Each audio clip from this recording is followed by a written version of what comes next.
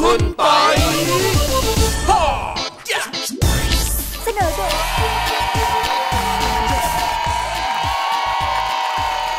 สวัสดีครับท่านผู้ชมครับ สวัสดีครับ ขอต้อนรับทุกท่านเข้าสู่รายการ ครัวคุณปอยครับขอบคุณมากที่ติดตามชมรายการของเราแต่ละคน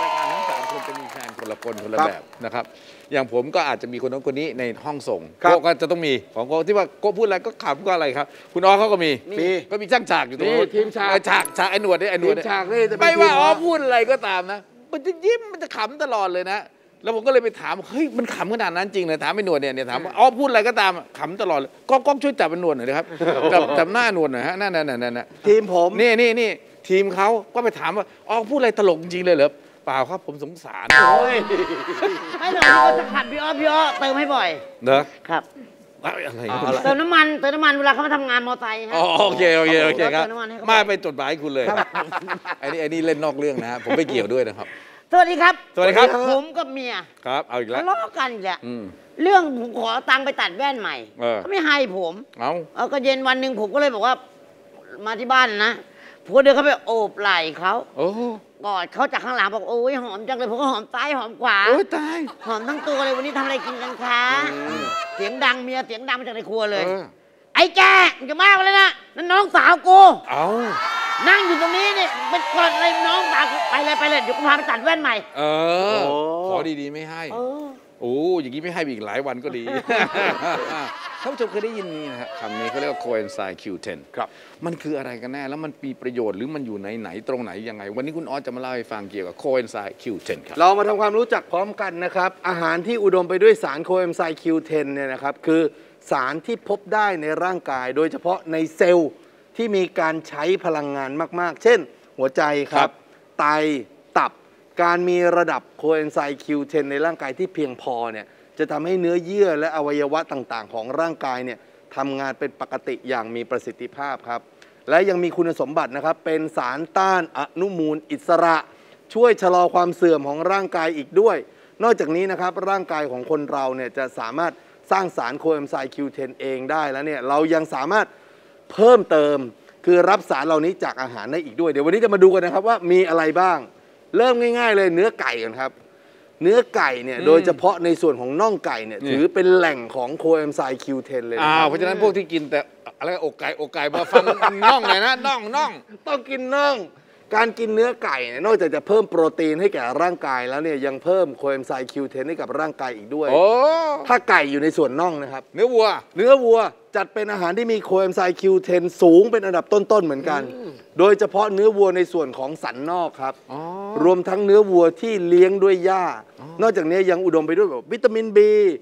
ซิงค์นะครับ และธาตุเหล็กด้วยเช่นกัน แต่แนะนำให้กินในปริมาณที่พอดีพอดีนะครับครับเนื่องจากว่าในเนื้อวัวเนี่ยมันจะมีปริมาณไขมันอยู่สูงเหมือนกัน ต่อมาครับ อันนี้จะเป็นเรื่องของเครื่เครื่อองงในในสัสัตตว์ว์ครับอืมปกติแล้วเนี่ยสารโคเอนไซม์ Q10 เนี่ยจะอยู่ในเซลล์ต่างๆ ทั่วร่างกายนะครับ แต่จะกระจุกตัวอยู่ที่อวัยวะสำคัญ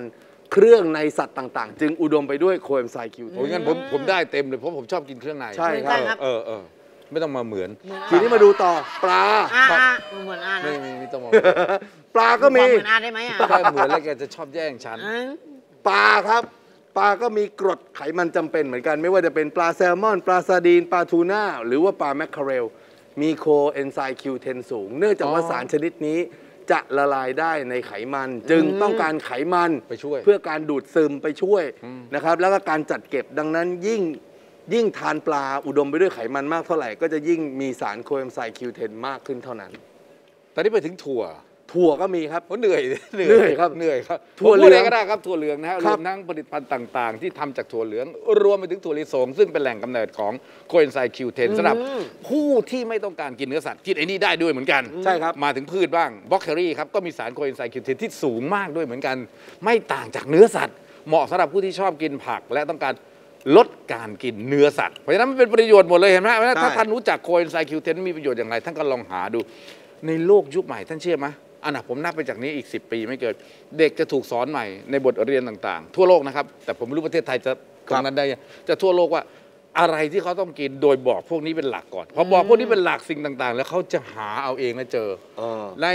ต่างประเทศในบางแห่งมากมายเลยครับ ในซูเปอร์มาร์เก็ตเนี่ยแทนที่เขาจะติดว่านี่บล็อกเกอรี่อะไรเขาจะติดบล็อกเกอรี่เสร็จเขาจะบอกแล้วมันประโยชน์มีอะไรบ้างอ๋อเหรอเขาบอกเลยอ๋อเท่ากับว่าเราอยากจะเติมอะไรก็ไปทานอันนั้นเอาถูกต้องเขาจะเขียนตึ๊ดตึ๊ดตึ๊ดตึ๊ดตึ๊ดเพราะฉะนั้น นั่นเป็นเมื่อก่อนต้องไปยืนดู เดี๋ยวนี้ยิ่งกว่านั้นอีกสมมติยังไงฮะท่านต้องการโคเอนไซม์ Q10 อ่าท่านเข้าไปในซูเปอร์มาร์เก็ตเขาแล้วเขาจะมีเนี่ยเขาเรียกว่าบาร์โค้ดมีอะไรตรงนี้อ่าฮะแล้วก็เขาเรียกอะไรสเป็นแกสนแกน QR code เป็นอะไรขอโทษย่างงี้นะครับ ท่านเอาโทรศัพท์ท่านกดแอปเข้าไปแล้วท่านต้องการอะไรท่านไปกดตืดตืดตืดมันขึ้นเลยครับว่ามีเท่าไหร่เท่าไหร่เท่าไหร่เท่าไหร่อยู่ตรงไหนบ้างอะไรเงี้ยถูกต้องครับโอ้เพราะฉะนั้นนี่คือโลกที่มันเปลี่ยนไป เราตามโอ้โลกไปทันนะเรายิ่งตามให้ทันโลกเท่าไหร่ โรคก็จะไกลตัวเราไปเท่านั้นครับ เราต้องตามให้ทัน พักตรงนี้สักครู่หนึ่งพบกับสิ่งน่าสนใจก่อน เดี๋ยวพบกับช่วงต่อไปของรายการสักครู่เดียวครับ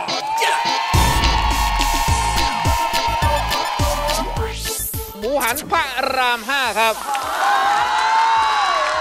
นี่มันขนาดนี้เลยเหรอ กว่าจะมีหมูหันหนึ่งตัวแบบนี้ ผิวด้านบนกรอบมาก เขาเป็นมืออาชีพถ้าจะตลกอะไรนี่ไปข้างนอกกันไปอะมาก็มาเป็